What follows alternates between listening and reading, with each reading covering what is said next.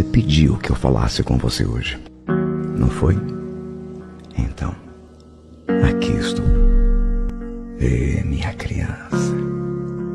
Eu já lhe dei tantas provas da minha presença em sua vida. Mas mesmo assim, sempre que algo não sai do jeito que você estava esperando, você duvida de mim. Não. Claro que não estou bravo nem decepcionado com você. Quero apenas que você de fato confie em mim. Saiba que tudo que vier contra você, eu reverterei e usarei a seu favor. Por isso, não se preocupe nem se amedronte. Eu sou seu pai e você sempre será minha criança, a menina dos meus olhos.